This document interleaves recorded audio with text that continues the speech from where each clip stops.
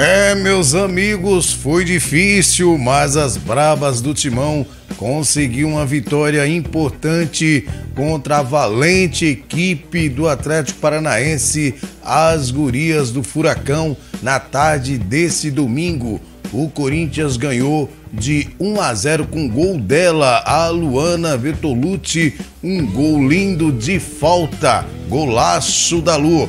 E agora o Corinthians fica isolado na tabela do Brasileirão Feminino com 15 pontos. Vitória difícil, mas importante para as brabas do Timão. Então, terminou aí nesse domingo jogão de bola entre Corinthians 1, Atlético Paranaense 0 lá em Mogi das Cruzes.